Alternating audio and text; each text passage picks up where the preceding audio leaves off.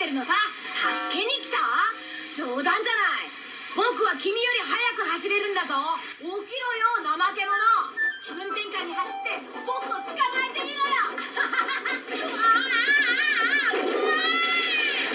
僕はなんてバカだったんだろう。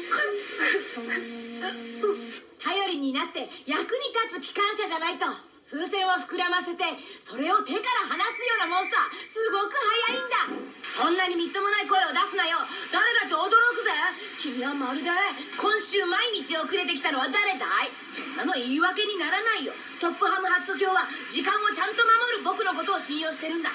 君みたいに草の中をノロノロ這い回るわけにはいかないよ。失敗の原因はいろいろあるけどさ。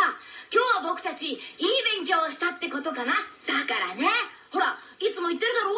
いろいろあっても結局